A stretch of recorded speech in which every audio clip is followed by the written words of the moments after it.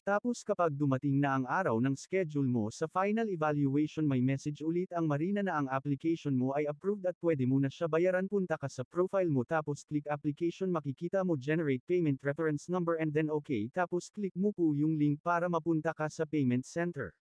Tatlo lang po ang pwede mong pagpipilian bayad center, Paymaya at debit cards or credit card kaya ang pinili ko po ay ung bayad center click mo ang bayad center tapos continue may lalabas na QR code screenshot nyo po para makuha nyo ang reference number tapos may message ulit yung marina para sa iyong reference number sa bayad center na kailangan mo bayaran pero ang ginawa ko kasi ayaw kong lumabas. Kaya sa Gcash ako nagbayad ipapakita ko sa inyo kung paano ko siya binayaran sa Gcash po.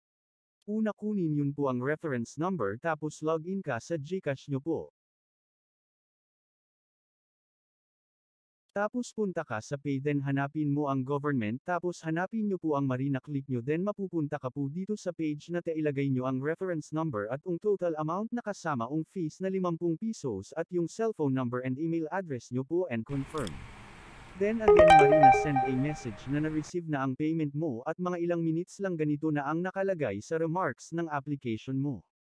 Okay guys salamat sa pagsubaybay sa channel ko at kung hindi ka pa nakapag-subscribe please subscribe at i-like mo na din ang ating video at kung gusto mo mo-notify sa mga susunod kong upload ay hit mo na din ang notification bell. Maraming salamat po.